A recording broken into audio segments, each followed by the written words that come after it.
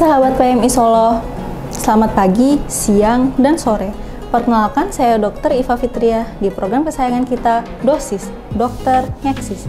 Dalam beberapa menit ke depan, kita akan mengulas mengenai info, mitos, atau fakta apakah minum air es dapat menyebabkan kegemukan. Don't go anywhere, let's talk about it.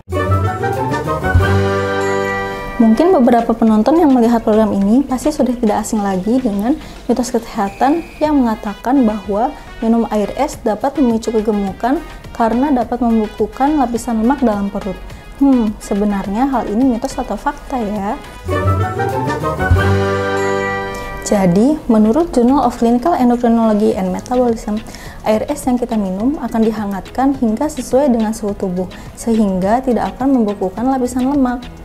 Karena itu, selama yang kita minum adalah air putih dan bukan minuman manis maupun yang berkalori tinggi, maka tidak usah khawatir berat badan akan bertambah karena minum air es.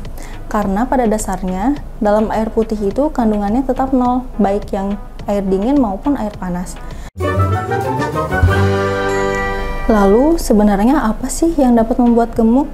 Nah, yang berbahaya adalah jika air es yang kita minum mengandung tambahan lain seperti pada es teh, es jeruk, boba, dan minuman kekinian lainnya.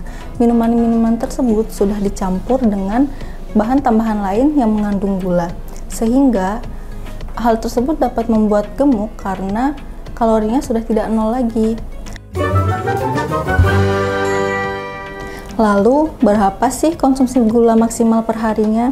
Menurut WHO, konsumsi gula maksimal per hari adalah 50 gram atau setara dengan 4 sendok teh. Kebayang dong kalau kita tiap makan selalu harus minum yang mengandung gula, berarti kita sudah melebihi batas maksimal yang direkomendasikan oleh WHO.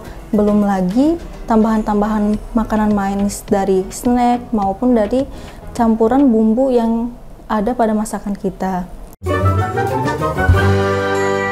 Jadi sudah jelas ya bahwa minum air es dapat menyebabkan kegemukan adalah mitos. Untuk episode selanjutnya, sahabat PWNI mau membahas apa nih? Jangan lupa like, subscribe, dan komen di bawah ini ya. Bye!